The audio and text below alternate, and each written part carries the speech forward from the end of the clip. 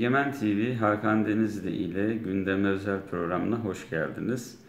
Ee, öncelikle e, bugün sosyal medyada da belki birçoğunuz görmüştür. Adana Spor Tribün lideri Refik Gül'ün biricik kızı, dünyalar güzeli kızı Duru Balım'ın ciddi bir rahatsızlıktan dolayı şu an hastanede yattığını öğreniyoruz. Daha önce de bununla ilgili tedavi süreçleri yaşandığından dolayı yakinen de takip ediyoruz. Ee, öncelikle e, Refik Gül ve eşine e, sabırlar diliyorum.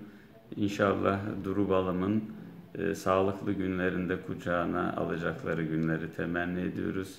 Dualarımız seninle Duru Balım diyoruz. İnşallah sağlığına en kısa zamanda kavuşacaksın. Temennimiz, isteğimiz, dileğimiz budur. Ee, şimdi dün akşam Pozantı Belediye Başkanı Sayın Mustafa Çay e, bizi davet etti. E, Pozantı'ya Akçatekir'de yaptığı Yaşam Park Restorantı'nın açılışı için. Biz biliyorsunuz daha önce e, orayla ilgili haberini yapmıştık. Gerçekten e, Akçatekir'e, Pozantı'ya ciddi bir tesis kazandırdığını önceden e, sizlerle paylaşmıştık. Dün de e, açılışını yapmak nasip oldu.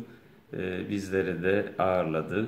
E, ilçenin kaymakamı, ilçenin protokolü, e, siyasi parti ilçe başkanları, meclis üyeleri, e, basınımızın temsilcileriyle beraber bizleri ağırladılar. E, gerçekten güzel bir tesis kazandırmış. E, çok güzel de e, hizmet vereceğine inanıyoruz. Her şeyden önce Mustafa Çay'ın e, hizmet aşkıyla belediye başkanlığı yaptığını, çok ciddi işlere imza attığını yakinen de takip ediyor ve biliyoruz.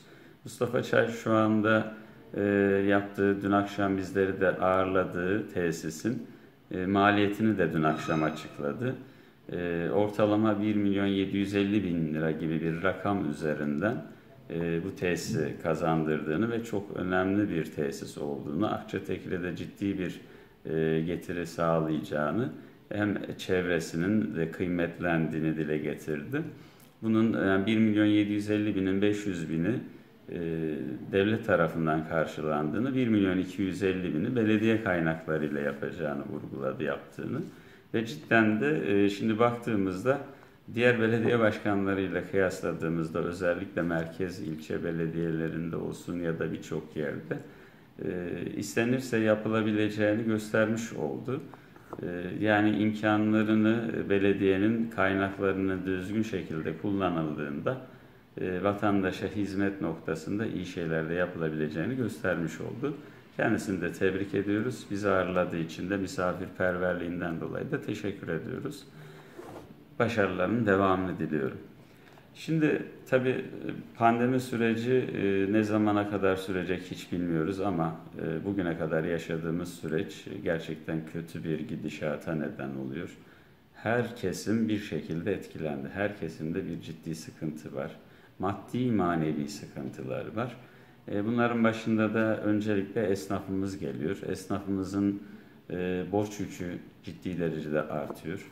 Şimdi de, devletin yani hükümetin getirdiği, iktidarın getirdiği bize çözüm olarak bir esnafa çözüm olarak getirdiklerinin hiçbir faydasını da görmüş değiliz. Nedenine gelince e, ben özellikle kendi işletmem üzerinde değerlendirdiğimde hiçbir faydasını göremedim. Neden? 4 ay boyunca biz haftada 3 gün gazete çıkarttık ama maaşlar, sigorta, vergi her şey düzenli olarak yatırdık ve bir şekilde e, tamam iyileştirici çözüm olarak gördükleri iktidarın, hükümetin e, ileri tarihe ertelemek oldu vergi, sigorta. İyi de biz e, yani normal geliri olan üst düzey bir gelir sağlayan esnafta değiliz ya da benim gibi işletme, küçük işletmelerin birçoğunda sıkıntı var. Yani sonuçta işletmelerin e, gelirleri belli, giderleri belli, yanında çalıştırdıkları sigorta yatırdıkları maaşlar e, verdikleri belli. Şimdi siz istediğiniz kadar erteleyin 3-4 ay 5 ay sonra biz bunu toplu halde nasıl ödeyeceğiz? Yani esnafa bir çözüm getirmiş olmuyorsunuz. Rahatlama diye gösterdiğiniz şeyin de hiç rahatlama olmadığını ciddi derecede hepimiz yaşayarak, sindirerek gördük. Allah'tan hani e, biz sigortamızı, e, vergimizi bir şekilde yatırmaya devam ettik. Çünkü ileride başımıza geleceği biliyorduk. Çünkü devlet desteği yok, teşvik kredisi yok, herhangi bir iyileştirici çözüm yok. Biz de e, ileride daha büyük sıkıntılar yaşamayalım diye pandemi sürecinde dahi hiçbir gelirimiz olmasa da e, sıkıntılarla boğuşarak borç harç içerisinde sigortalarımızı, vergilerimizi yatırmaya çalıştık. Tabi bununla ilgili e, Sayın Seyhan Belediye Başkanı Akif Akay'ın dün bir açıklaması oldu. Esnafımıza borcumuzu ödüyoruz.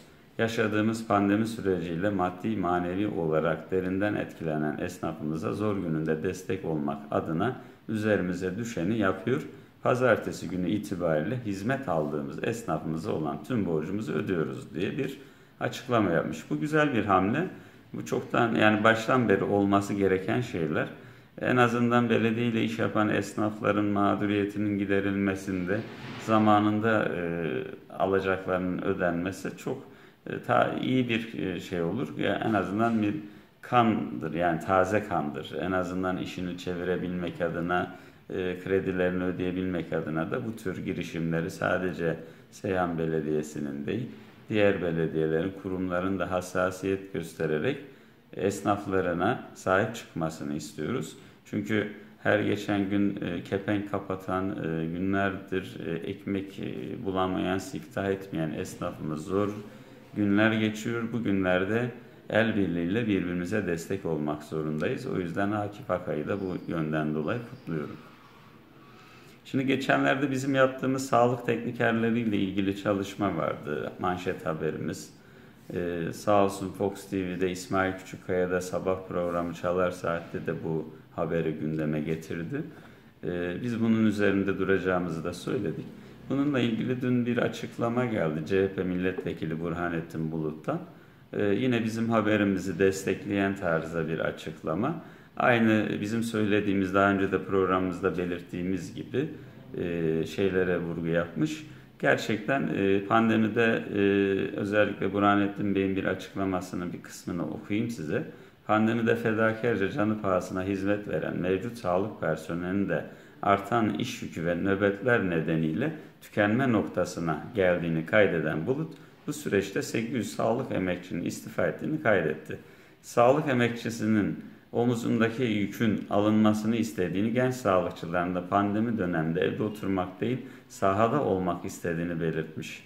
E, tabii bunu e, biz de geçen söyledik.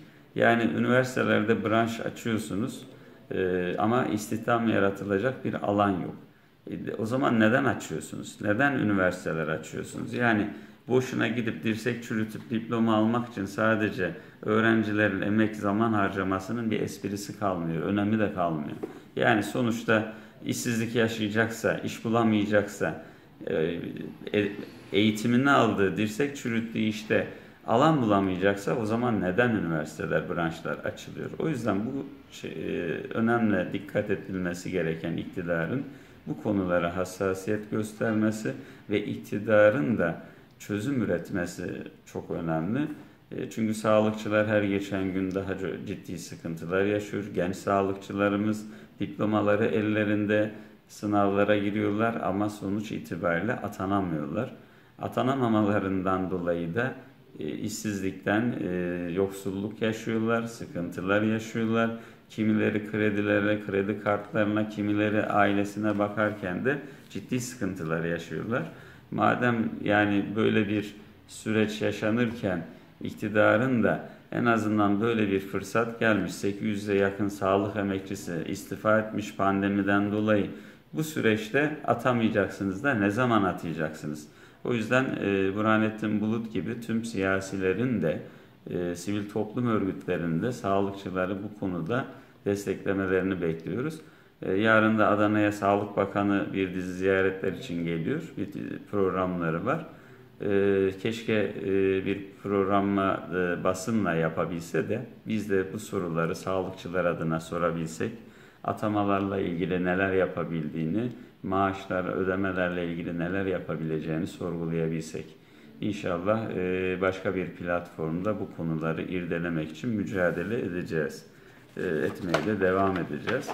Ee, bugünlük sizlerle e, zamanımız bu kadar. Ee, bundan sonraki süreçte daha dolu, daha farklı konularla sizlerle olacağız.